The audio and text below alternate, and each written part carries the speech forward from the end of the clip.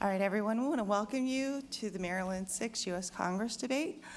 Um, We're going to start off tonight with this Pledge of Allegiance, so if you would mind, please stand.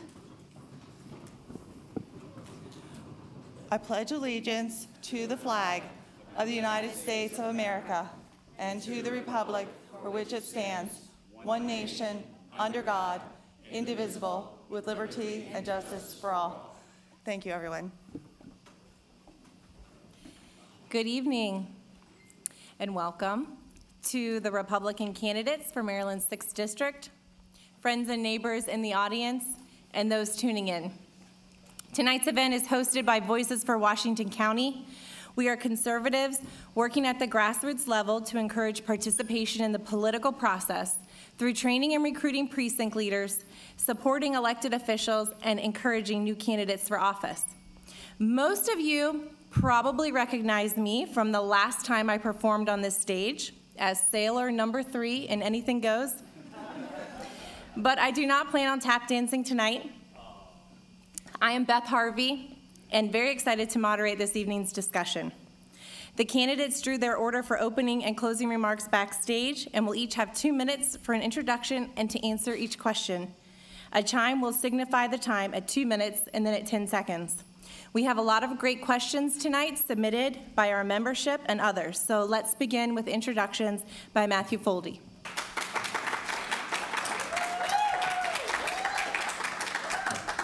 What do David Trone and Joe Biden have in common? Both of them are multimillionaires from Pennsylvania, and both of them use their elected office to make even more money than they ever had before. And neither of them can find Western Maryland on the map to save their lives. We have a unique opportunity to finally beat David Trone this November, and it's an opportunity that we can't afford to miss. But it's going to require a Republican candidate who knows how to do that. My name is Matthew Foldy. I'm an investigative reporter, I'm a conservative activist, and I've been exposing Democratic corruption at the highest levels. I'm running for Congress to do the same to our part-time Congressman, David Trone. A couple questions. Who here knows that David Trone is currently being sued by a 66-year-old woman for age-based discrimination right here in Maryland? If you know this, it's probably because I told you. Who here knows that David Trone refuses to give Jewish employees paid time off on our high holy days? Meanwhile, we've been giving him paid time off for the past two and a half years. Who here knows that David Trone skipped more than 25% of the votes in D.C. last year, even though he literally lives in Potomac, 20 miles away? Who here knows that all of David Trone's constituent offices that we pay for have been closed and locked for the past two and a half years? Who here knows that David Trone hosted President Biden for a mask-free fundraiser at his Potomac mansion just last week while he continues to not do any constituent services? As Republican candidates, we must expose the Democrats because we simply know the media obviously will never do that. Now, let's talk about this election. Raise your hand if you're tired of these multimillionaire Democrats from Potomac buying our seat in Congress and then disappearing. Okay, now keep your hand raised if you want a new generation of leadership to finally beat David Trone and send Nancy Pelosi packing for retirement. My name is Matthew Foldy, and I'm running for Congress for three reasons. First, who better than an investigative reporter to expose the most corrupt administration of my lifetime? The mainstream media sure as hell won't. You might have read my work in the Washington Free Beacon, listened to me talk about it on Mark Levin's radio show, or seen me discuss it on with Maria Bartiromo and Tucker Carlson on Fox News. I've already exposed massive corruption in our nation's energy department and Chinese influence in our commerce department. I've been on this beat from the beginning, appearing on Newsmax every Friday to help expose the truth. There's a lot more oversight that we need to do, and I'm going to start by issu- issuing subpoenas on day one in Washington. Second, America needs a new generation of leadership, but Joe Biden and the Democrats in Congress are asleep at the wheel. Their failed radical policies are destroying our country, and I'm running for Congress to stop socialism today to protect our tomorrow. And third, representing you and your concerns is a full-time job, but David Trone treats it like a hobby. I resigned from my job as an investigative reporter to run for Congress because I'm committed to this fight. David Trone, on the other hand, runs his business full-time and treats us as an afterthought. In fact, all of his congressional offices have been closed for the past two years. I'm going to hold David Trone accountable for selling us out to Nancy Pelosi. My name is Matthew Foldy. I'm a conservative investigative reporter. I'm running for Congress to save our future, expose and investigate this corrupt administration, and make representing you my full-time job. Thanks so much for having me. I'd be honored to have your votes. Thank you, Matthew. The next candidate, Bob Poissonnier. I, Robert Bryan Poissonnier, do solemnly swear or affirm that I will support and defend the Constitution of the United States against all enemies, foreign and domestic, that I will bear true faith and allegiance to the same, that I take this obligation freely without any mental reservation or purpose of evasion, and that I will well and faithfully discharge the duties of the office on which I'm about to enter. So help me God. I took this oath on January 9th, 1995. Today, it still rings true to me. I took this oath of my own free will, and I meant every word of it. My first day with the Federal Bureau of Prisons, a component under the United States Department of Justice, we were told it was our integrity that got us there. Today, our government has no integrity. We must restore the faith of the people in our leaders. In order to do so, we must continue what President Trump started and drain the swamp. I intend on going after every corrupt politician who uses their office to further their criminal enterprise. They must be held accountable, accountable to you, the people. Politicians work for you, not some big tech company who gives politicians kickbacks for passing laws that destroy America and benefit them. That is bribery and nothing less. It's a violation of federal law, and it must be stopped. As an American citizen, you have the right to have your vote count. Unfortunately, this is no longer the case in America. We have seen in the 2020 presidential election, your vote does not count. Our politicians use foreign entities and big tech companies to alter the elections results to fit their own needs and agendas. Democrats are fighting hard to destroy our election process and have been doing so for many years. We, the people, asked for evidence of the election interference, and we've been given that. If you haven't heard of or seen 2,000 Mules, I encourage you to do so. It gives evidence of what really happened during the 2020 presidential election and who really won. And I can tell you it wasn't Joe Biden. It proves foreign entities such as the United Nations, the DNC, and other foreign governments were involved in rig- rigging our election. We need an election process. We need an election process that cannot be tampered with. Your vote must count. I will do everything in my power to ensure our election process cannot be tampered with and that every vote cast is counted. You, as American citizen, have a right to bear arms. In our Constitution, there are no limits on how many weapons or ammunition you can purchase. There are no limits on the capacity of a magazine or how many rounds your weapon can carry. There are no stipulations in the Constitution to register your firearm or apply for a concealed weapons permit. It is your right, should you decide to bear arms, if you're a law abiding citizen, your rights are protected. The Constitution is unrestricted. I will do everything in my power to protect your rights, and I will fight against red flag laws. In our nation, we have two great forces that protect our country the United States military and our fearless law enforcement. Thank you, Bob. Now welcome Colt Black. Thank you. Good evening, everybody. My name is Colt Black. I'm a happily married father of three, small business owner, licensed funeral director, and mortician. At the end of the day, I think anyone sitting in this room and anyone listening at home wants the absolute very best for their family. At the end of the day, family is the bedrock of our society. And no matter whether you're sitting at your kitchen table, on your recliner, or on your favorite couch, the conversations around policy and politics starts at home.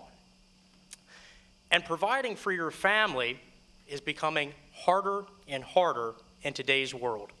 Whether we're talking about the rising cost of inflation at the grocery store, the rising cost of energy, or crime in the streets where we can't feel safe in our cities, towns, and even out in the rural communities surrounding Washington County.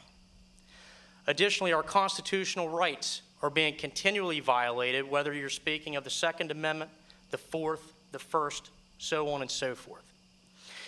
At the end of the day, Energy is indeed the lifeblood of our economy, and we need to work to bring down the cost of energy by unleashing the free market, whether we're talking about coal, natural gas, nuclear, wind, solar. We need to ensure that all of these energy sources are being used to drive down consumer cost.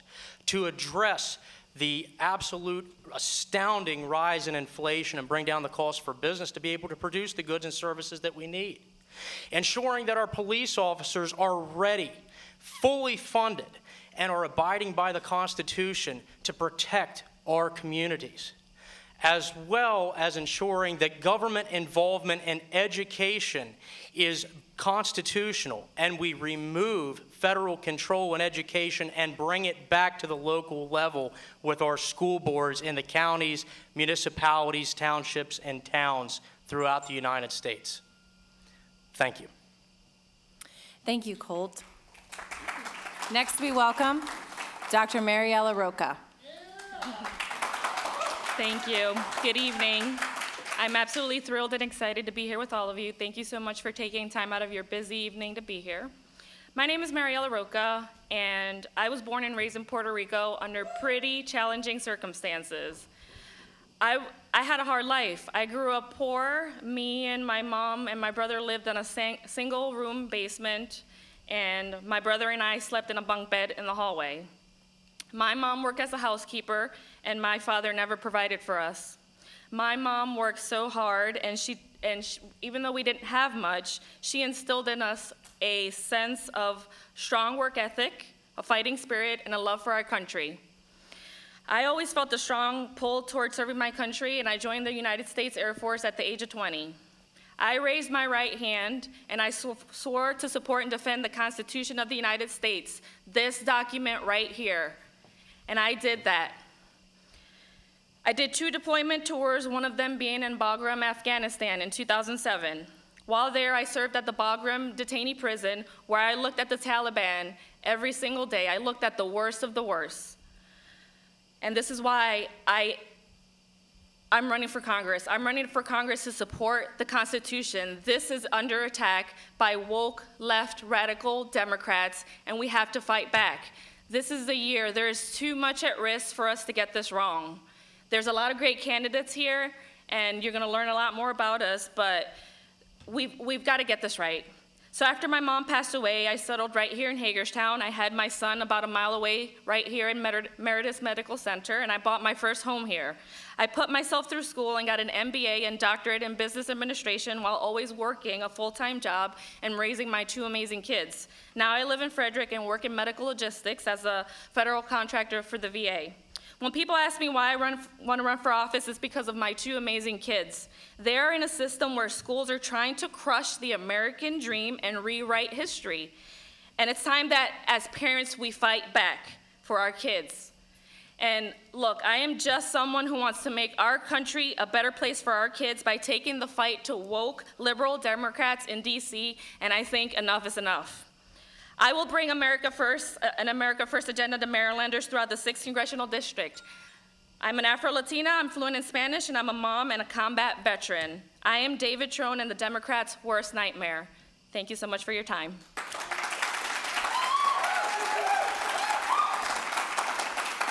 Thank you, Mariela. And um, now welcome Neil Parrott.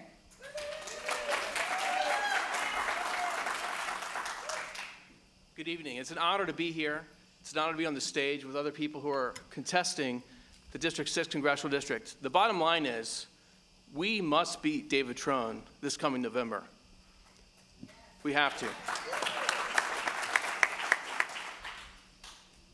I serve in the General Assembly. I've been there for 12 years. In December, they passed a map that was worse than the map they passed 10 years ago under Governor O'Malley. I actually didn't think there was any way they could make the map worse. We sued over the map, went to U.S. Supreme Court. We got a referendum on the map. I led mdpetitions.com. Many of you signed the petitions. We got it on the ballot. Unfortunately, the question wasn't fair. They threw it out. So, right when they passed it, somehow they made it worse. They made it so that Andy Harris on the Eastern Shore, our only Republican in Congress, would have a really tough time winning that election because President Biden won in that district that they just drew. And then in District 6, where we're running right now today, it improved a little bit. It went from a D plus 8 to a D plus 6. We sued, I sued, with Judicial Watch. We won that lawsuit. As a result, right now, if you look at racetothewhitehouse.com, it shows Neil Parrott versus David Trone, and I'm up by 3.6 percentage points.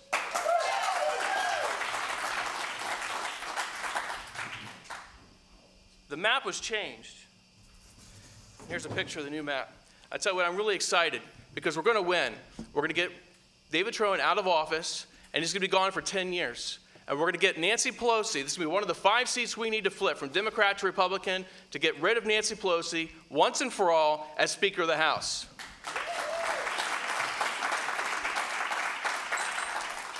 In this new map, you see that all of Frederick County is united. Now we finally have Western Maryland united, and we need to have a Western Maryland representative going down to DC. And I live right here in Hagerstown. I will represent Western Maryland for you in DC come this January. Thank you, Neil. And finally, Jonathan Jenkins. All right, thank you very much. My name is Jonathan Jenkins. I am a Marine, an Iraq war vet. I have two small businesses. One became a lot smaller because of COVID-1984, a tech business, and also because of what's been happening in the White House. You open um, borders and crime increasing. I started a firearms business, trying to lead by example. I am running because this is not the America I grew up in. Very simple. You know, I loved my America I grew up in. I'm looking at my children now, eight and 10. This is not it. This is about the wokeness. This is about, you know, fake history. We cannot have this. So I decided to throw my hat in because I didn't care what the map looked like. I was just going to run, and in Marine Corps fashion, I was going to go and get it. I've been doing this for 16 months now, nonstop. I am the grassroots campaigner. Nobody runs harder than me. You see what happens on social media. I'm out there almost every single day, even Sundays now. We have to win this back. We will win this back. We will support whoever the candidate's getting through here, but we need the right candidate. We need the one with the wisdom. I have been blessed with the right wisdom at the right time. I've worked in almost half of the federal agencies, including the ones we care deeply about, about going after, CMS, HHS, NIH, DOD, you know, commerce. I've, I've been there, I've done that. I know how to handle external threats. The external threats are going at us with cybersecurity, artificial intelligence, machine learning. That's my background. So if you want the candidate that's going to hustle every day, has the wisdom, okay, has the tenacity to not stop, that is me, okay? My kids are the most precious thing here, and so we come to four pillars. It's safe, security, Americanism, family, and faith. Security is going to cover a lot, right? Border security, cyber security, election security, right? We got to stop these ballots in here. We, we need to secure that. Americanism, we must support American ideals and history. Family first, and then faith. We never should shut down churches, never should shut down synagogues. They all must remain open. Thank you very much. Thank you for your introductions. Let's begin with foreign policy and defense. Matthew, we'll begin with the first question. Israel has been a longtime friend and ally of the United States, yet the Democrat Party supports the Defund Israel movement and increasingly opposes additional military assistance. Will you support Israel? This is deeply personal to me as a Jewish American and as an American with common sense. And uh, I have literally been assaulted by radical Islamic activists at the White House. As a new 18 year old, I went to counter protest a group of jihadist supporters, 20,000 strong. I hadn't realized they had cleared out all of the counter protesters who support Israel. And uh, I get to the White House, all of a sudden, I feel a tightening around my neck as uh, a jihadist activist rips the Israeli flag from my throat and sets it on fire. And what does the Obama administration do? And as I'm literally being assaulted in front of the White House, absolutely nothing. What does the Biden administration do when foreign born jihadists take a synagogue hostage in Texas?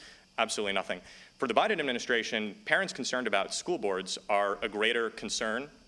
They view them as domestic terrorists than jihadists who would eradicate me and every other Jew in America. So it goes without question that I would support Israel. This is deeply personal. The Biden administration right now, the only foreign policy goal it has is giving Iran a nuclear weapon, come hell or high water. And my family, I have family in Israel. They will be wiped off the face of the earth. The Ayatollahs have made it clear they're going to develop a nuclear weapon with the Democrats, with the Democrats' assistance, and they will eliminate my family. This is a genocidal Islamic regime that the Biden administration is working hand in hand with. It's absolutely disgraceful. So, of course, I'll support Israel. But it's important to also support our other allies overseas who the Biden administration has also completely abandoned. We are a joke in the world under the Biden administration. We saw them surrender Afghanistan, we saw them bow down to the Communist Chinese Party. My reporting as an investigative journalist actually exposed that China is leveraging the Commerce Secretary's husband, and the Commerce Secretary, perhaps in return, is giving lifelines to Chinese telecommunications giants like Huawei to spy on American citizens. The Biden administration caved to China in going to the Olympics, where our Olympians were spied on, where they were blackmailed. The Biden administration also gave $1.6 billion, my reporting showed, to the, from the military to China. My reporting has led to multiple congressional investigations on China and other things, and I'm ready to continue that on day one. But yes, of course, I will support Israel. Bob, what is the most critical issue, in your view, facing American national security today? I think one of our biggest problems is that we get ourselves involved in whatever is happening out there. We're, we're in the process right now of giving billions and billions of dollars to Ukraine, and yet our own military here, our own borders are, are suffering. Uh, the Biden administration during the withdrawal or surrender of Afghanistan brought all these terrorists in. We now know there are terrorists walking our streets that weren't vetted before they came in. I think we need to spend a little bit more time and a little bit more money funding our own military, keeping our borders safe, and rounding up these, these illegal aliens that are here that are, that are bringing their ideologies that we just don't want in our country. Thank you. Colt, an open border almost makes every state a border state. What is your opinion on the crisis at our southern border? Well, thank you. So, you know, we are seeing illegal immigration at record numbers right now. And of course, the Biden administration and his radical, rabid liberal ilk are doing absolutely nothing uh, to stop the illegal immigration. I find it absolutely heart wrenching to think of the folks that's trying to make this trek and are winding up dead and, and you know, raped and, and things of this nature along the way. Um, we need to be sending a clear message to ensure that, number one, they're not coming. And number two, we need to rally our local law enforcement to be able to enforce the federal immigration laws. And if they do not have the wherewithal to do so, we need to pull federal funding from these states and communities where uh, they're not willing to enforce the federal law. Because if it was a gun law or drug law, the local police departments would want to enforce that. They would go out of their way to enforce it. But yet we have sheriffs and state police and local police that are not enforcing immigration. So we need to work tirelessly to secure the border. We have had the Safe Fences Act since the early 90s. The reality of it is, is it has not been enforced. So we have the legislation in place. We need to build the wall. We need to ensure that our police and border patrol are fully funded to deal with this immigration crisis. And we need to quickly and expeditiously deport those who are here illegally.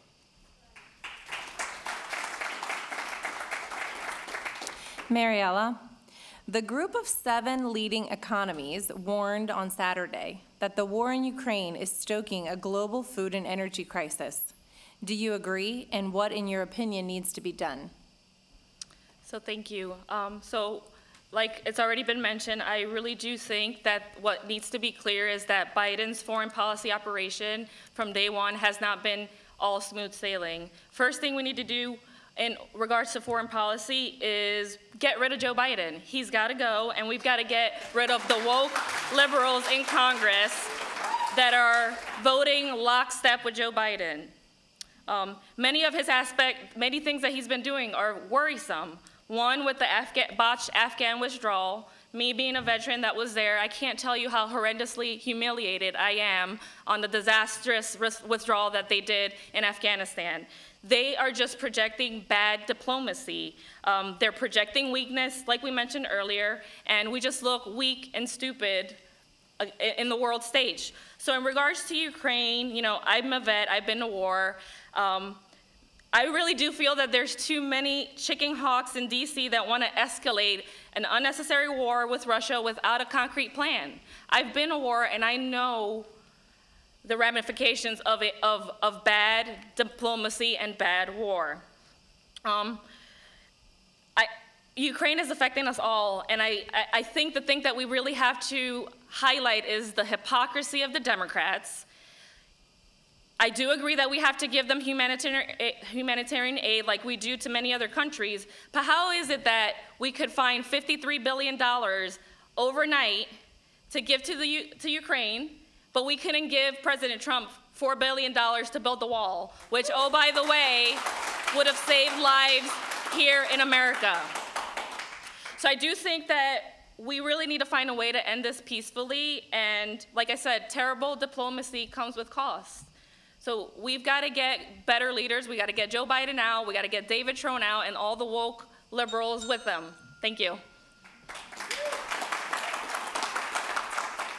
Neil, Congress gave Communist China permanent most favored nation trading status 20 years ago. Then Senator Joe Biden said in a congressional hearing at the time, getting China into the World Trade Organization, a rules-based organization, will subject China to multilateral pressures on trade and over time enhance their respect for the rule of law or they will not be in.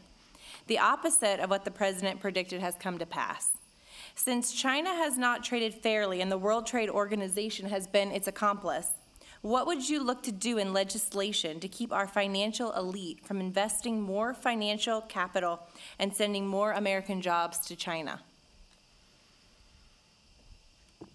So when I was in high school, I had a special project that I was assigned North-South technology transfer contingent on political or social change. I had no idea what it meant, but it was a big deal at the U.S. Naval Academy that I was able to go there and make a presentation. We actually went to the uh, U.S. Congress, did research. Bottom line is, that's right, it was President Nixon who made China the most favored nation status, and their hope was, well, they're going to learn capitalism works, or they're going to do our way of things to become a democracy. That didn't happen. They're communist. They became hardcore communist. They transferred some of the things that are good about democracy, about capitalism. They tried to make it part of their own system, but they're still communists. They still own everything, and we need to have better trade deals. And thankfully, President Trump took a hard stance against China, and that needs to continue right now.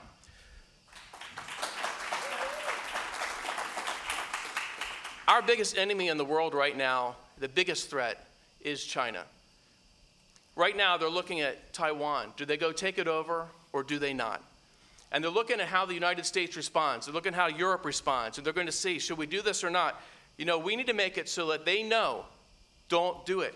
Because if you do, there are going to be some serious ramifications, not just economic, but other ramifications as well. You know, the cyber warfare that's occurring is hurting our businesses here in the United States. We need to use our full military to go against cyber warfare to stop it. We saw prices jump in oil. It was over about a year ago, all about cyber warfare. We can't allow that to continue. That's a threat that China and Russia have on the United States right now that we're not defending against at all. We are completely vulnerable, but it's time to get our military involved and to fight back. We need to make sure that we don't treat China like they're our friends because they are not. They're our biggest enemy in the world right now, and we need to make sure we treat them that way. We need to make sure that we have tough, again, trade deals. And it wouldn't hurt if we don't trade much with China at all. We can do most of that right here. I know prices will go up a little bit, but a little bit of price increase is much better for world safety than what we're doing right now. Thank you. Jonathan, the United States is dependent upon China for most of its critical pharmaceuticals and many other medical items. Do you believe this is a national security issue, and what could be done? Uh, Really, really good comment there. So we, if you are a true America first, it's not because you're a Trumper, it's just because it makes sense. We need to be able to sustain everything here ourselves. We need to be able to have all of our core, core services, not just pharmaceuticals, but baby formula, everything in here. We have seen in the past that China has actually killed people. They had toothpaste years ago, it was killing kids in Haiti. So we have to, as much as possible, be able to sustain ourselves. Originally, when we uh, got to the 19th century, we tried to fight two wars. We set up a lot of our infrastructure to fight a war on the West Coast and the East Coast, and we tried to have all the industries we needed to support ourselves in case these things happen. Being over-dependent upon China is a very dangerous thing. Um, we found out some of those COVID tests, right? They had metals in there. Why would you put metal in there? Can't figure that out, right? Killing kids, I said, with the toothpaste. Cybersecurity issues, just because you get some type of um, pharmaceutical equipment. Imagine getting equipment where they know everything that's in there and can monitor it and literally can shut people down. It is a very dangerous country right now. Um, however, we, we need to build within, but we also can't just automatically just alienate China right away. Because if you go at them that they are our enemy like that, that's, that may be too hard and it could shut us down completely. Most of our aspirin is not even here anymore, right? I think China makes all that stuff. So we got to get back on track, but we can't just shut off China. What we need to do is encourage people to want to invest and create in this country. If you want to invest in China, I don't have a problem with that. However, what I want to have is let's make it such a great incentive to keep your money here, invest here, use the people here, that it makes the most business sense. True Republicans, you want to have the ability to choose anywhere you want to do business in the world. So pharmaceuticals, again, wrapping it up, we got to be self-sustained here completely. I don't trust them. Thank you. Let's segue into a discussion on healthcare. Matthew, please start us off.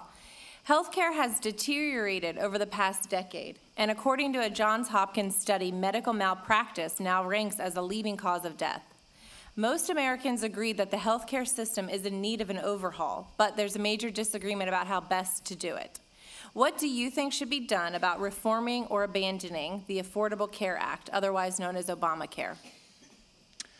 One thing that will be very clear tonight is that any person on this stage is going to be a hell of a lot better congressman than David Trone. I mean, there's, there's no doubt about this. And, and I think it's incumbent on all of us here in the audience to you know, support whoever wins the nomination. And real quickly on China, though, this is exactly why it's important to send an investigative reporter to Congress. My reporting on Chinese infiltration of the Commerce Department, the U.S. military sending billions of dollars for fake COVID test, test kits to China, has led to multiple congressional investigations of the Biden administration. There's a lot more investigating that needs to be done. Now, when it comes to healthcare, Democrats have destroyed our healthcare system just like they've destroyed everything else. I mean, these are the people who have candles of Anthony Fauci that are all made in China and think that this makes them a virtuous person. So Democrats are raising healthcare costs just like they're raising the cost of everything in America. So, of course, we obviously need to jettison the disastrous Obamacare that every Democrat in, in, Congress has prioritized since 2010. But it's important for Republicans to obviously offer an alternative. So once we get to Congress, once we finally fire Pelosi, fire Trone, and then get a Republican in the White House, that needs to be a top priority because healthcare costs and the rising healthcare costs are a massive concern to Americans. So we need to do things in the meantime, like making it easier to have basic necessities like baby formula. All of a sudden, Democrats realized there's no baby formula in the United States of America. Well, now they're going to do phony investigations because they've been called out for their absenteeism, which is one of the things that I'm doing this entire week during the campaign. Every single day this week, I'm going to a different office of David Trone's here in the district, harkening back to my work as a reporter last month on how no Democrat in this country actually wants to work for the people.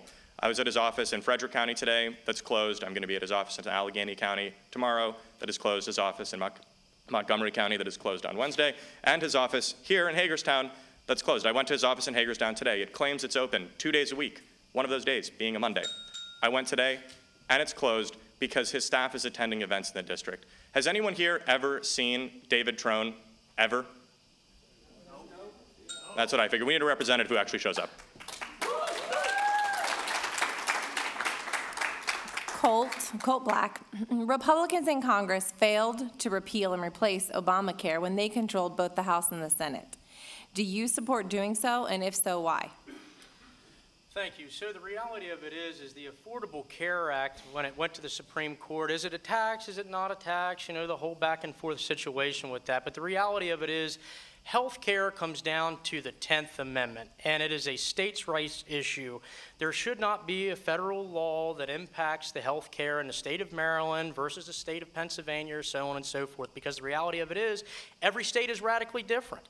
What your healthcare needs are here in Maryland is very different than what your healthcare needs might be in, say, Alaska. So we need custom tailored healthcare solutions. So I support a 100% clean repeal of Obamacare, a one paragraph bill reverting everything back to the states under the 10th Amendment. Neil, since passage of the Affordable Care Act, healthcare prices and deductibles are higher and too costly for many on base programs.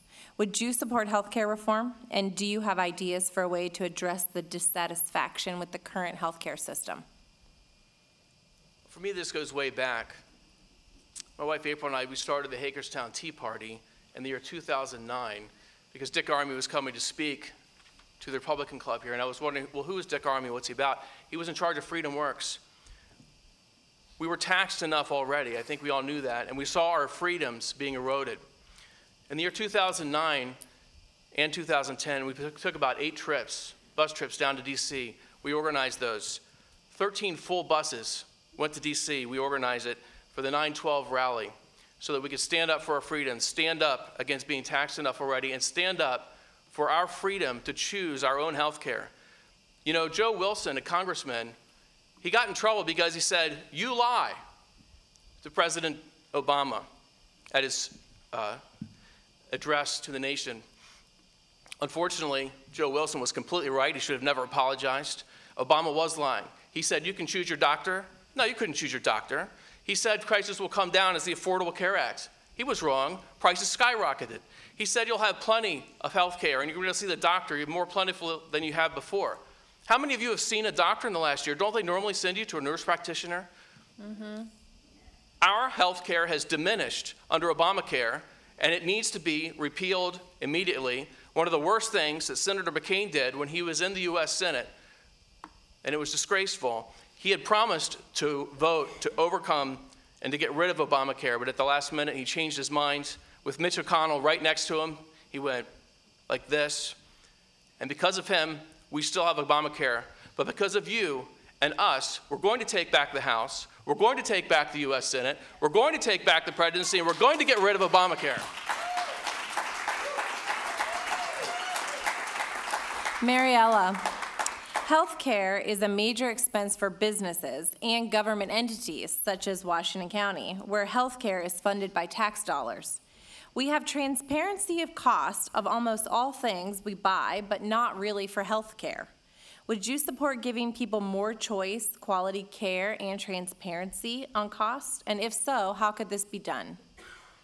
Absolutely, and I really do think that healthcare is one of those topics that is very important to me. When I was younger, like I mentioned, we grew up eh, uh, very poor, and my mom um, really didn't have health insurance. She couldn't afford it for us. And then when my mom was terminally ill, I saw firsthand how broken the system is and how expensive her chemo medications were. Uh, I remember her first uh, 30-day supply for her, for her chemo treatment was about a uh, $1,500 copay for us. So this is really important for me, and I really think that I'm one of the candidates here that really can speak to that. Um, I know that there's a lot of things, and I kind of want to shift back over to the Obamacare uh, thing because I, I, I, really had a couple things on my mind. Um, if you did or didn't know, I resigned my government position to run for office, and I decided to keep my VA insurance 100% through the VA. And thankfully, President Trump did a lot of things to trying to reform the VA for us veterans um, with uh, care in the community, but there's still a lot of work. Um, and I do think that there's really two paths moving forward for healthcare in my mind. Number one, the Medicare for All BS that the left is trying to push is basically VA healthcare for all. And if there's any veterans out there and you get your care through the VA, I am telling you, you we do not want that. Um, the, it, you know, if this is how uh, government treats our nation's heroes with VA healthcare that is so severely broken, do we really think that they're going to do better for you? I don't think they really are. And the second path that I see forward, honestly, in the ideal scenario would be some kind of a patient doctor run healthcare that provides patients with um, more choices and lower costs. So I, I, I do think that that's where we have to go towards. Thank you. Jonathan, What ideas do you bring to the table, given the projection that Medicare is expected to be bankrupt by 2026?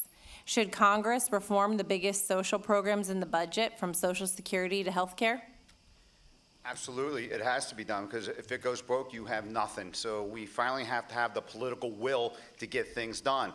The, the age is too low, the age has to increase, but I think we can do other things in the, in the process. For example, we need to eliminate federal taxes on retirees. We're, we're, we're living than longer before. Costs of goods keep going up, thanks to Joe, a lot more up, right? And we also have the medical costs are going to go up. As we age, we are going to have more dementia. We are going to have more types of cancer. Allow people not to be wards of the government. So we need to eliminate all federal taxes on retirees. We need to have better means tests. We, we need to also start privatizing as much as possible. Everything the government touches, except for the Marine Corps, yeah, a little bit, um, doesn't do, doesn't go well, right? And we got to admit that and privatize. If you look at elective surgeries, the cost continues to go down. How can that be? Right? And the cost of government health care continues to climb. It is not ran like a business. We need to completely blow it up, privatize as much as possible. We need to open it across states, across borders. I don't care if you want to get health care from Iraq. If it works for you because they have some kind of dental plan over there, then go at it, Hoss, right? We need that. We need to be much more creative, but we got to get government out of the way. We need to have businesses come in, the right businesses, and just restructure the whole thing. Thank you. Bob, what do you support to improve the healthcare system? Would you support some government deregulation of the bureaucratic controls on healthcare and free market initi- initiatives? I think one of the biggest problems in healthcare is the fact that doctors are not allowed to be doctors. If they want to do a procedure, they call the insurance company. If the insurance company says, yeah, let's do it, then the doctor does it. If the insurance company says, no, I'm not going, we're not going to pay for that, so then the patient who needs something done can't get it done, can't get the medication they need. I think what has to happen is the insurance companies have to back off a little bit, let doctors be doctors. We pay good money for insurance. How can they tell? They don't know me, so how can they tell the doctor what I'm allowed to get, what I'm not allowed to get? I think what we have to do is when a doctor says, we, I mean, we have to listen to the doctor. The doctor says, you need your leg amputated. The insurance company says, well, we're not going to pay for that yet because he ain't completely uh, um, rotted out yet. Gangrene ain't completely set in. So we're just going to wait a little minute. And, you know, we just need to start listening to our doctors. I don't believe the government should be, uh, like, I'll bring up Obamacare. Okay? Basically, what Obamacare was, in, in my opinion, was Obama's way of trying to get people dependent upon state systems. Okay? And they just, the government needs to get out of our lives. You know, I, I got insurance. I'm retired law enforcement. I got insurance. But yet, when I turn a certain age, I have to convert that to Medicare. Well, I don't want to turn my stuff to Medicare. The government has no right to tell me what insurance I can have and what insurance I can't have. We need to let the doctors be doctors. The government needs to stay out of our business. Thank you. Uh, Let's segue our discussion into uh, economic issues. Neil, the first question will go to you. Agriculture is an important element of Western Maryland economy, yet we see that farmers' input costs are skyrocketing. Fuel, fertilizer, pesticides, they've all gone up dramatically this spring. What can we do to invest in and support our farming community, particularly during these tough times? Well, you know, I've served in the Maryland State House for 12 years. Every single year, and right now I'm on the uh, Environmental and Transportation Committee. Every single year, there are new environmental laws that go forward that make it very, very expensive and make it hard for farmers to do their job. They want to do their job, but they're tied, and it's, it's very difficult for them. We need to take some of those regulations and put them back a little bit. You know, it's funny, I get a um, 0% rating from this environmental group a lot of years, and I'll tell you why I get a 0%. Because it's a 100% pro-farmer rating, and that's what you need to do when you send me down to Congress, is to make sure that our farmers are represented, to make sure that they're not harmed like they are right now. Now, the costs are going up, And they're going up because energy is going up, the cost, is because we're not energy independent any longer, and that's because of President Biden. It goes right that back to his very first day of office. There were leases where we had on federal lands to be able to drill for oil or gas. He cut those leases. We had the Keystone XL pipeline that was going to go through the country. We'd get better oil, better natural gas. He cut that pipeline. It's gone right now. And at the same time, he allowed a pipeline to go from Ukraine to Germany, which actually helped start this Ukraine war. It was complete wrong decision making on behalf of the president because he thinks that we can have some kind of environmental change, that we can make our country better than everybody else in the world, and we can fix all the world's problems environmentally. We can't do it. The world's most polluter is China. And what's China doing for their environment? And I'll tell you what they're doing nothing. And we're not asking them to do anything. We're saying, don't worry, we'll do everything. And in 30 years, you guys can start cleaning up your environment. Do you think that's ever going to happen? It's not going to happen. We need to make sure we're competitive. We need, we need to make sure our farmers are able to farm. We need to make sure that we're energy independent. And we need to stop these pipe dreams that we're going to get our electricity from solar or from wind only. It's just not going to happen. We need to be able to live in reality, and we need to be able to be energy independent again. Colt, in our three branches of government, Congress is the power of the purse. If elected, how can you see that local government in our community receives extra help from federal dollars without growing the government? Well, thank you. So I think one of the biggest ways that we can do this is to change our tax code. The reality of it is, if you look at our current tax code, how are taxes collected? Taxes are collected federally, and they wind up trickling down. We need to take back our tax code and have them go from local to federal. And the way to do that is through the Fair Tax Plan. What the Fair Tax Plan does is it repeals the 16th Amendment, it eliminates the IRS, and it eliminates all personal income taxes, business income taxes, as well as estate taxes.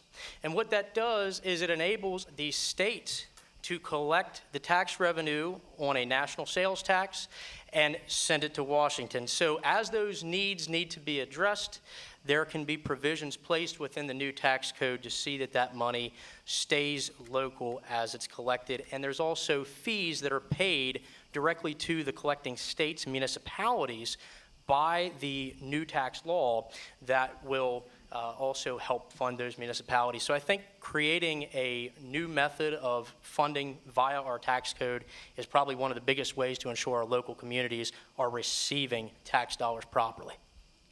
Thank you. Bob, Congress has passed a trillion dollar infrastructure bill, yet we have not seen relief for the overcrowded and heavily used I 81 stretch through Maryland. This has an economic impact on our area. Do you think that with the likely Republican majority next year, the I 81 challenge can be funded?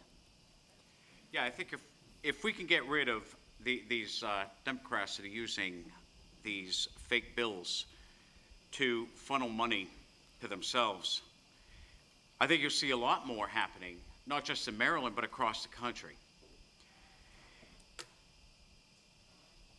If we get the right people in,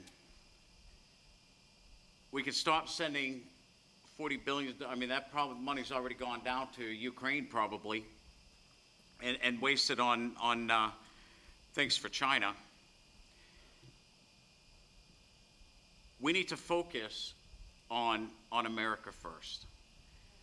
Our roads in America, in a lot of places, uh, you drive 78 in, in Pennsylvania and, and you're going to ruin your car. Just coming here today on, on uh, 70, uh, driving down from Cumberland, they're doing construction, but they've been doing construction for the last 10 years.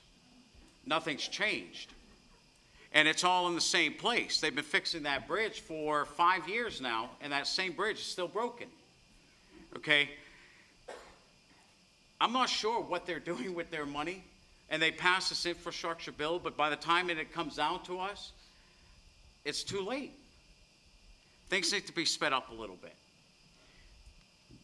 To, I mean, I don't even know what else to say.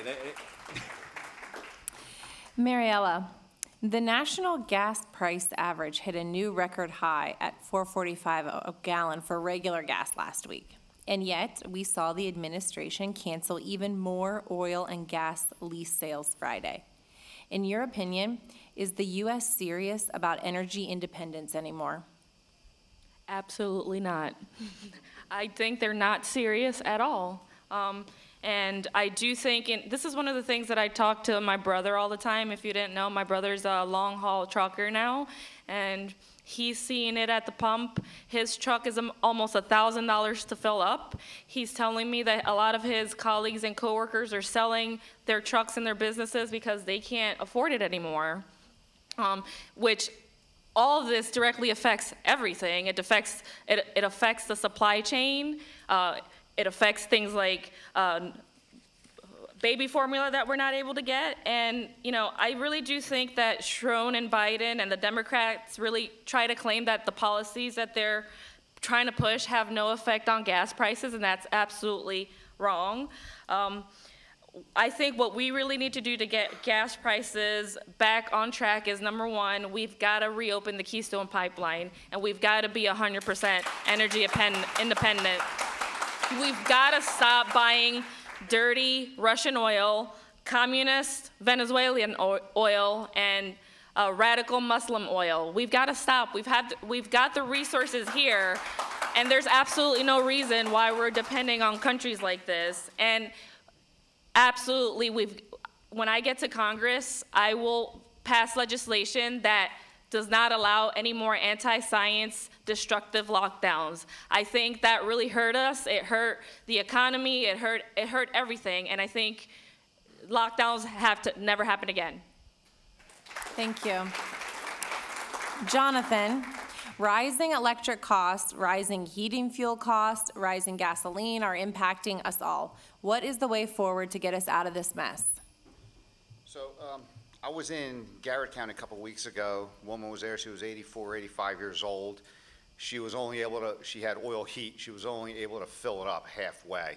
And that's just absolutely insane. That was a, that was almost like a month ago, so I don't know what the cost was back then. Um, so it, it, it's horrific. They will kill people with this, but kind of like some other people said, you, you need to, uh, bring the prices down by understanding what the problem is. The problem is it's a futures game, and you got to drill, drill, drill on the hope that you're going to find stuff. That's part of it. Okay. Um, uh, part of it, however, though, is too when you drill, you got to be able to allow the, the these oil companies the freedom that they need. Don't worry about the regulations. Somebody said there's a turtle in the way. How do we know that turtle's in there, and why are we going to stop because of that single turtle? We need to be much smarter on this.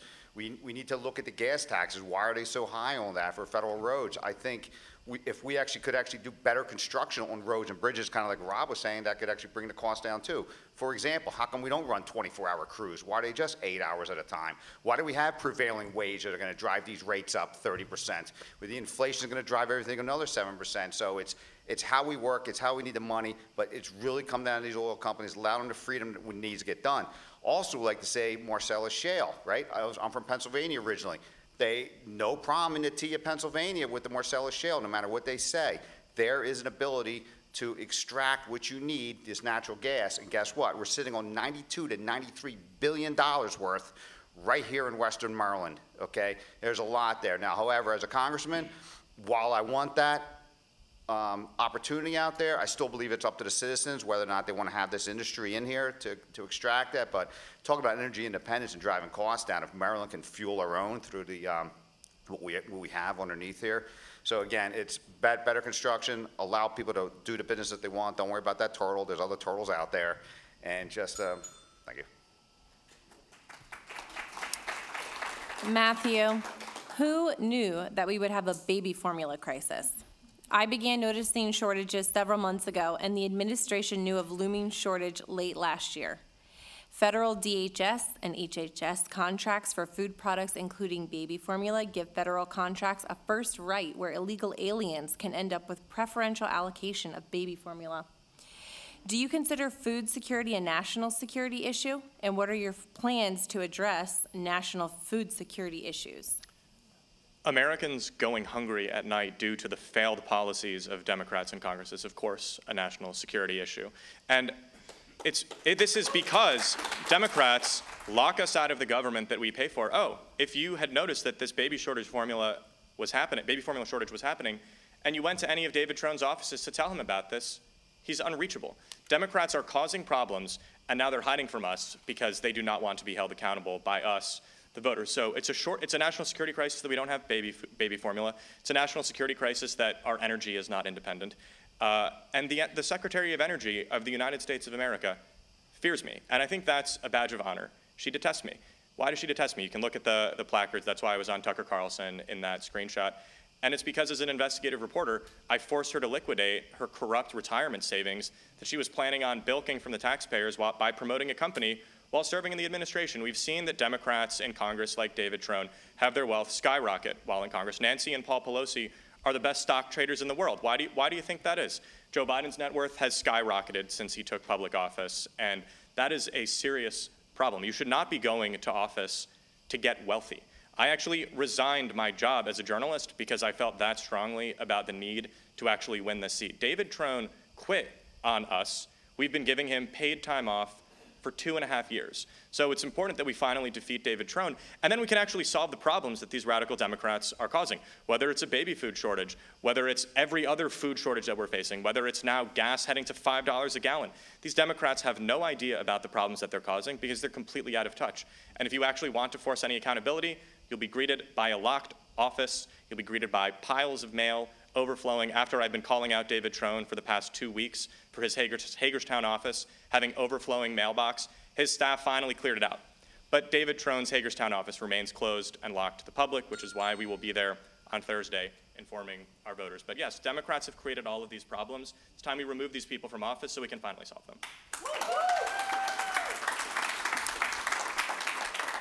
I would like to talk more about the economy, but we have a lot to cover, so we'll come back if we have time. And They've let's, caused a lot of problems. let's move into uh, the discussion on some social issues. Jonathan, we see the left commonly focuses on identity politics and says things are unfair, or how was I offended today? What am I owed? What does unfair actually mean? And can you work across the aisle to accomplish objectives without offending the other side? Great question. I believe this is very simple. When I was a Marine, we were just green. That was it, ugly and green. It's very simple. I don't believe in the identity politics. We need to stop that. They, they keep hammering on that, and that's what's causing children to not understand what's, what's going on here. Um, As, as your congressman, we need to understand all the legislation and the bureaucrats within all the federal agencies that are promoting these, this identity politics. There was something that came out today, or a couple days ago, about the World Health Organization, how Biden in a couple days wants to actually start seceding healthcare over to the World Health Organization. Well, if you look in that provision in there, guess what? When they start forming these committees because of some emergency issue around the world, oh, it's got, it's got to have the right equity at the table. It's not the smartest people, it's not the ones that are, make the most sense. Make sure you got the right races in there, uh, make sure you got the right genders in there. Absolutely insane. That is the most racist stuff you can do. It tears people apart. You know, call me a dumb old Marine, but I think it's simple. We're all Marines or just all Americans. We all just get along. My little guy Gabriel, my little guy Gabriel, he's eight years old. I had to tell him that his best friend was a black kid. He didn't even know. This guy Canayo, he just hangs out with him every day. He's always at the house. He had no idea. So oh, I thought he was brown. You know, he just, just do- doesn't get it. You know, and that's how we got to raise our children. But and so one of the things, because of my uh, background of artificial intelligence, I want to start using text analytics to identify everything that's published on federal websites, federal publications out there, and start looking for keywords like equity, like diversion, things like that. If we can start identifying these documents, now we can start having forensic um, audits to figure out what these things are for. Let's use technology. So I want to be proposing a whole slew of clean bills just to look at everything that's produced because that has to be eradicated completely out of our government. Thank you. Bob, the Department of Justice and the FBI are reported to have investigated parents for terrorism because they exercised their free speech in opposing critical race theory at school board meetings, also demanding an investigation of a trans person assaulting a female student. Will you work to investigate the FBI and DOJ, and if necessary, support defunding elements of the FBI for these sorts of efforts? It's not just the FBI. I think a lot of the government uh, agencies like the CIA, the intelligence agencies, the NSA, they are way overstepping their bounds. They're using things like social media, uh, Google, your own computer, your smartphone, and they're spying on you. And they say, oh, we're doing it because of national security. We're, we're, we're trying to find terrorists. But the people they're identifying as terrorists are, are anybody that goes against their ideology or their propaganda. So, yeah, if I'm elected, I will do everything in my power to fight against the outreach or the overreach of, of government agencies and, and hold them more accountable. You know, we've seen, we've seen what they did to General Mike Flynn. We've seen what they did to President Trump and their spying. We see, well, we're seeing now what they're doing to the January 6th uh, issue there. This is all stuff that they've made up, and that's how corrupt that they've gotten. They've become so powerful that they just make stuff up just to put their name out there.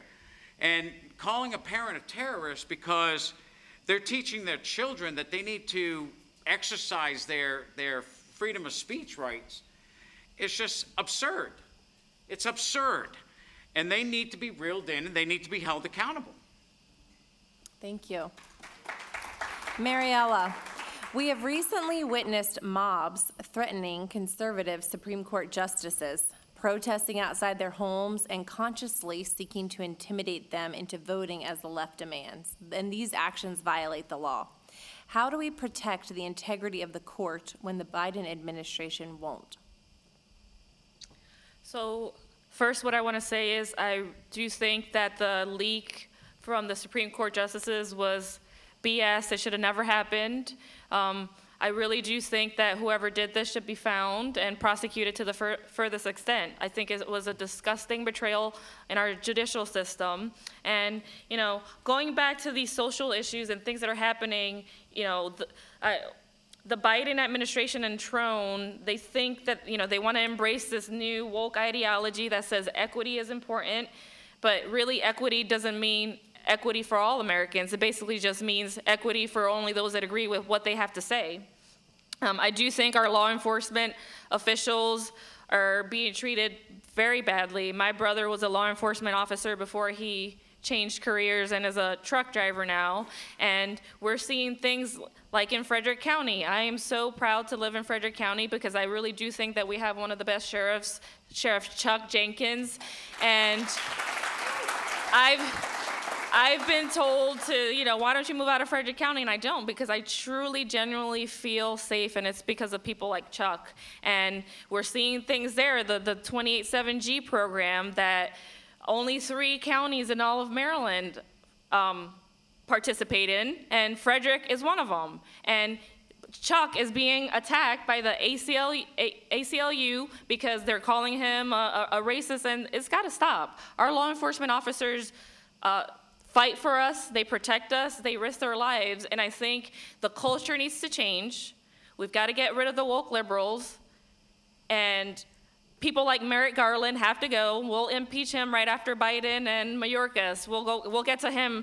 He's third in line. People like these. These leaders have got to go, and we've got to support our law enforcement. And I will, I will always support our law enforcement. Thank you. Colt, what is your stance on abortion? Well, let's, let's be honest. Uh, abortion is a euphemism, ladies and gentlemen. Abortion is a euphemism for murder. It absolutely is 150% emphatically in murder. There is no other way to put it. Now, at the end of the day, is there certainly some cases for the mother's life that we need to be aware of? Sure. But outside of these circumstances, the reality of it is there is a separate life at stake. And according to the Declaration of Independence, we are afforded these unalienable rights. It does not say it starts when you eh, leave your mother's birth canal. These are unalienable rights that start the minute that you are conceived. We must stand up for life, There is absolutely no excuse why we have the abortion numbers we do in this country. I was astounded to learn that in New York City and all the boroughs there, there are more black children aborted than there are born alive. That is absolutely sickening. Our abortion industry is taking advantage of our friends and neighbors in the minority communities throughout the United States. Most of our abortion clinics are within walking distance of minority communities, and we need to stand up and say, enough is enough, and we need to put them out of business. That's what we need to be doing. Thank you very much. Um, Matthew, you, you gave us a great personal story. Uh, leading up to the 2020 election, we witnessed riots, mobs, and political violence from Antifa and other groups that get away with breaking the law and are simultaneously legitimized by the left. What can we do to pressure the FBI and Department of Justice to seriously address this?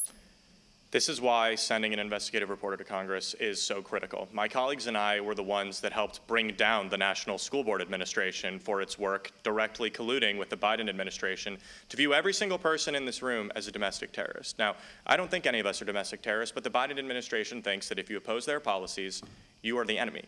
So we need to actually investigate what's going on with the Department of Education colluding with leftist organizations funded by foreign billionaires to investigate parents. Meanwhile, we have a southern border where drugs and criminals are literally pouring across. Fentanyl from China is killing our communities, and the Biden administration sends Kamala Harris to solve this. Does anyone feel safer knowing that Kamala Harris went to the wrong city on the border as borders are?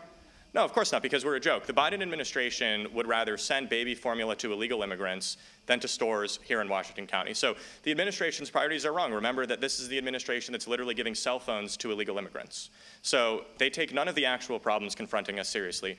They view us and our fellow Americans as domestic terrorists. And we actually need to get to the bottom of how it is possible for the Depart- Department of Education to indoctrinate students in critical race theory that I've exposed across the country Quick example, the state of Tennessee is no longer teaching critical race theory in its colleges because of my reporting. I think it's incredibly important that we ban critical race theory in schools across the country because five year olds should be taught basic education. They should not be taught that they're racist or that they're stupid because of the color of their skin.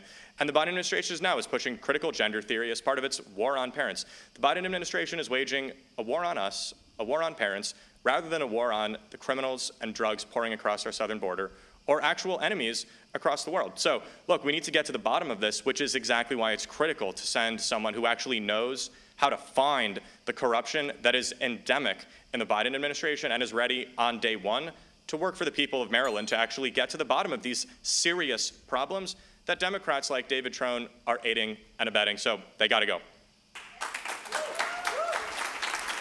Neil, contrary to mainstream media reporting, vote fraud and election, ele- election irregularity was a real problem. Mollie Hemingway's book Rigged and the movie 2000 Mules are compelling. Our system of government depends on free and fair elections on the local, state, and federal level. If elected, what are your plans in Congress to rebuild election integrity and voter confidence?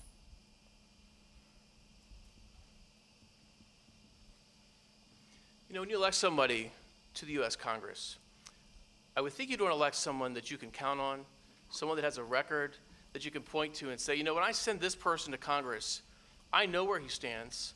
I know what he's going to do. You don't have to guess my record on election integrity. I've been laughed at by Democrats by putting forward bill year after year after year. I put forward bills to say we need to have voter ID when you go to vote. That needs to happen nationwide. You know, H.R. 1, the Democrat bill this year, said they want to get rid of voter ID in all the states all across the country. It's totally the wrong direction. They're totally trying to allow cheating. I don't even understand how they could justify that. In the General Assembly, I introduced a bill that said if you're going to register to vote, we need to make sure that you're a U.S. citizen when you register to vote right then. We have the capability to do it. Just go get your driver's license. We all know do you have your papers or not? Uh, it'd be very easy. But you know, when you go to get your driver's license, if you're an illegal, alien in Maryland, They'll let you have a license, but it won't be the same one that you and I get. It'll be a special license because they know that this is an illegal alien. But they still say, Would you like to vote? It's unbelievable. That's what happens right now at the MVA in Maryland because that's the direction they're taking. That's got to stop, and I put a legislation, we need to stop that. I also put in just this year legislation that says when you vote by mail and you request that vote by mail, we need to verify that signature. Is it really that person or not? It's really easy to do. Banks do it all the time. They have computer programs that can flag it to say, is this really the person or not? Of course, it didn't pass, but those types of things need to happen nationwide so we can have voter integrity. And you have my record that I've done this already in the Maryland General Assembly. Thank you. Thank you, Neil. Jonathan, the First Amendment to the Constitution begins, Congress shall make no law respecting an establishment of religion or prohibiting the free exercise thereof. Yet today, many Americans believe the free exercise of religion is being attacked, culturally, politically, and by the government. If you agree, what do you think Congress can do to protect constitutional rights such as the freedom of religion? So, for the most part, government needs to stay out of all religious bodies. And uh, so separated church and state was not about government coming into your religious bodies. It was that you had some sort of faith coming into government, right? So we need to really just look at the people that are attacking us. That's the issue. We have half this country now believes they are atheists or agnostic. We have a serious problem here to maintain our culture. We need to focus on those internal things. We need to figure out why families are falling apart from that. This is not going to be solved by a government issue. All government, I believe, their role should be is making sure it's a, it's a, a fair um, field, if you will. We see that we're being flagged quite a bit for being terrorists, right? There's a lot of people attacking Jewish groups, for example. A lot of shootings are, are there. How do we start using technology to identify why people cannot speak about their issues? How do we, how do we use technology so that people can get their issues out there and spread the word? We know that there's a lot of censorship going on if you're a Christian or a Jew, right? You put something in there, you may not see it online. It is amazing. So we got to go after these social media companies as much as possible and at least tell, if they want to do that, that's fine, but at least they should describe what are their algorithms, how are they doing it, and why are they discriminating? If they just want to deal with certain people, okay, we just won't use those platforms. But for the most part, I really don't think we can legislate government to clean this up. This is um, a personal issue, a family issue, your, your body of faith as much as possible. Government should just make sure that nobody's censoring you as much as possible. I had so many more questions I wanted to ask you all, um, but it is time to move into closing statements. The order was drawn backstage, and each candidate will have two minutes to leave us with their final thoughts. First, Jonathan Jenkins. All right, first, thank you very much. Really appreciate it being here. Um, I hate being behind a podium. I'm usually the guy that's running all over the place. I don't like being low energy here, but I'll do it. I am the candidate that's the grassroots guy. I am out there. Before the map was even declared, I did not care. I was running because I got two little kids and I'm not dealing with it. I did not go 6,000 miles to come home and all of a sudden, right here in my backyard, everything's being weathered away, being destroyed by George Soros and the like of his ilk right? So that's why I am out there every single day. My worst days is probably three hours. When I take the trips up to Garrett County, Allegany County, I'm up there for two days, usually 15, 16 hours a day. You see the videos I have online. I am the hustler. I have been there. I have, I have knocked on more doors than everyone else up here. I have made more phone calls than everyone else, okay?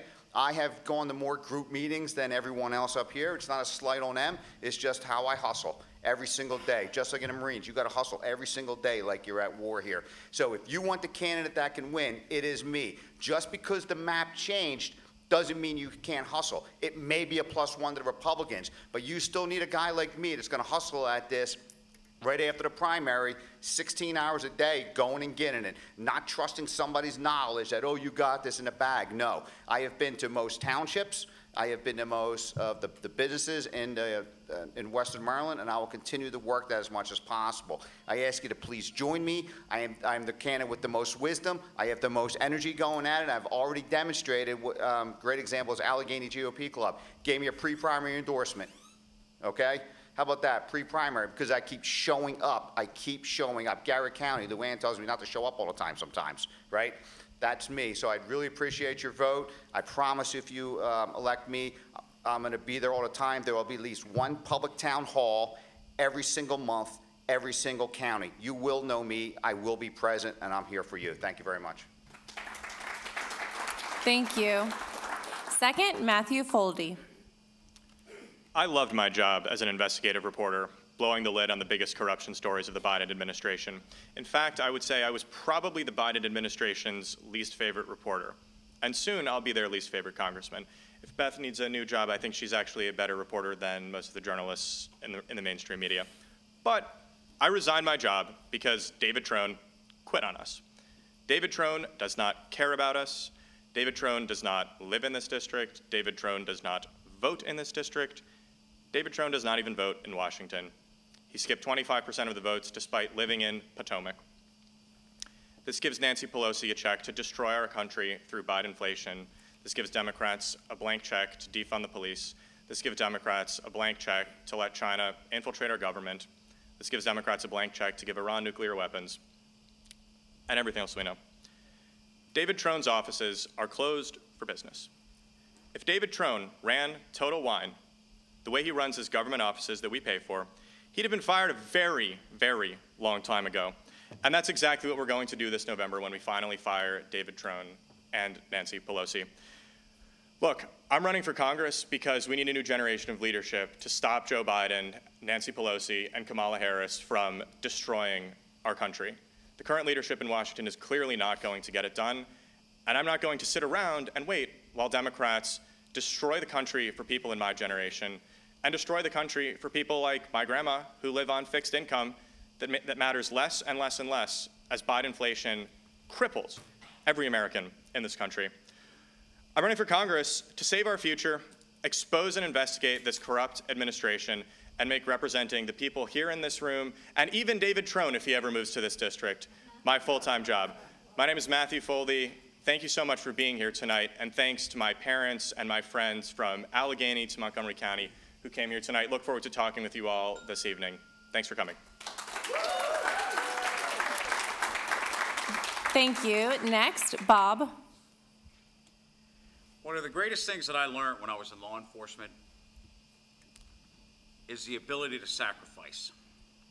Sacrifice my time, I sacrificed my family. There were times that uh, I would get home at 5 o'clock. Being a criminal investigator, something would happen. I get that call 35 minutes into just being home, started cooking dinner, and I have to go back to work. I'm not afraid to work.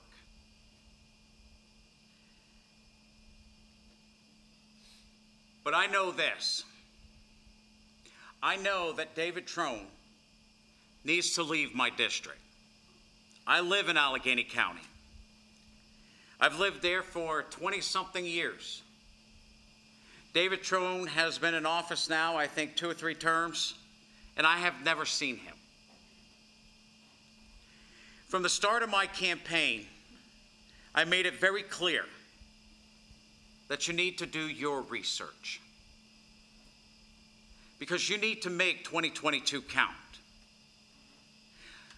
I raised four kids by myself. I retired from the federal government and I still have to work a full time job.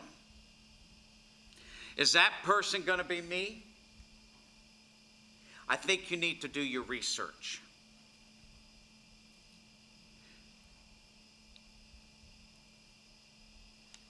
I'm sacrificing myself tonight, my own desire to run. And I'm going to put this out there from my campaign, Poissonnier for Congress. I endorse Jonathan Jenkins. Thank you. Now, Neil Parrott. You know, this position is very important. We have to win. And you have to have someone that you can count on. It's too important to take a risk on someone you don't know their voting record, you don't know what they're actually going to do if they ever get to Congress. They're an unknown. I have a proven record. I have a proven winning record, winning three races. I have proven experience. People matter. And right now, American families, they're hurting. We've got high inflation, struggling businesses, and battles over what children are taught in our own schools. They don't have control of their children's education. During my 12 years in the Maryland General Assembly, I have a record of working for families, for faith, for freedom. You don't know how, you don't have to guess how I'm going to vote when I go to Congress. We need to beat David Trone this coming November. We have to replace Nancy Speaker, Nancy Pelosi as Speaker of the House. You can count on me to get that job done. We're going to be one of the five seats right here that flips from Democrat to Republican, remove Nancy Pelosi. But you know, one other thing I want to talk about. It's not just about policy, it's about treating people well. As a delegate, I don't just have a conservative record, but I have a record of helping people when they have problems. You know, there's the Brownsville Pond, they drained it. We got it filled back up. Now the fire engines, the people in Boonsboro, they have a place where they can go to actually put out fires. You know, the black flies, especially southern Washington County, they were destroying people's lives. People couldn't even move there. There were swarms of them. We're treating the black flies. Actually, going to start a little bit later this month, so it's great news. Boonsboro, they had a traffic issue. Within an hour, I had that straightened out. They striped it wrong. It was completely wrong. It was going to cause a crash. One of their council members called me right away. Bam, I knew who to call at the State Highway Administration. We got it changed. That's what you can count on from me. Not just policy, but you can't count on policy.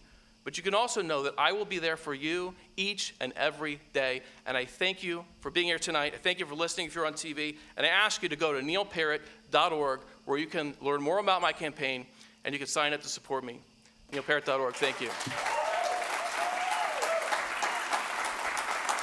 Thank you, Neil. Mariela Roca is next. Thank you. Um, this was a great opportunity, and I am so glad that every single one of you came out here to learn a little bit about us. And but I, what I really want to do say is we cannot forget how big of a fight this is going to be. Um, I think there's five candidates now running for office, um, but this is going to be one of the most hotly contested swing districts in the country. David Trone and the Democrats are going to pour so much money into this campaign, and they're going to come after us, and you're going to need someone that the Democrats are going to fear. I can say that I'm the only person here that is going to be able to bring in some of the minority votes, some of the Hispanic votes, a lot of these people that are coming to the Republican Party, and we have to make sure that we can properly speak to them and show them what a true conservative and what our true conservative values are.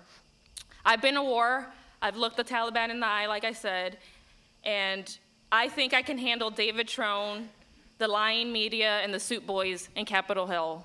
So I would be so humbled and honored to have your vote. Please go to rocaforcongress.com, learn more about me, and elect a fighter like me to represent you in Congress. Thank you. Thank you. And to close, Colt Black. So we've heard a lot of good commentary this evening, and I want to thank everybody for being here. The reality of it is, ladies and gentlemen, is we hear a lot of talk about what folks will do when they get to Washington, D.C., what controls they'll put in place. And the reality of it is, is controls are merely that, controls. At the end of the day, we need to look to the Constitution for true and honest guidance. Out of everybody here on this stage this evening, I have put myself out as a true constitutional conservative. The reality of it is, if the federal government's uh, jobs, their, their agencies, does not fall within Article 1, Section 8 of the United States Constitution, they absolutely must be abolished and eliminated. We cannot continue. We cannot continue to fund agencies that are duplicates at the state and local level. We must continue to work diligently to ensure that our constitutional rights are 150% respected across the board by both local, state, and federal law enforcement, not hauling parents out of Board of Education meetings for speaking out under their First Amendment freedoms. And we must ensure that our Second Amendment rights are absolutely upheld and protected throughout the United States.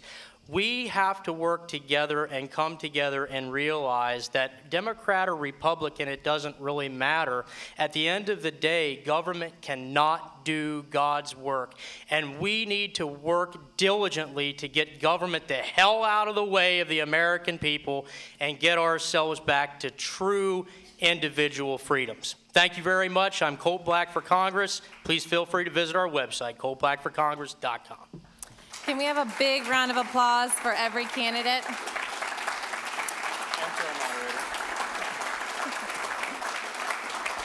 We want to thank Antietam Broadband for broadcasting tonight's event, Hagerstown Community College, BT Design Group, the team at CopyQuick, and all our volunteers tonight. To each candidate I share the stage with and all who joined beforehand, your willingness to lead is appreciated, and I wish you all the best as the primary approaches on July 19. Though I do favor Derek Harvey for County Commissioner. And I think I can say that because you get to vote for five, so free speech.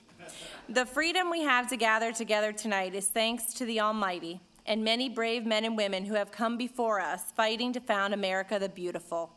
May we continue to protect and preserve the documents that unite our 50 great states. Sharon Gish, whose name you will see on the ballot for Republican Central Committee, will close us in prayer. Thank you.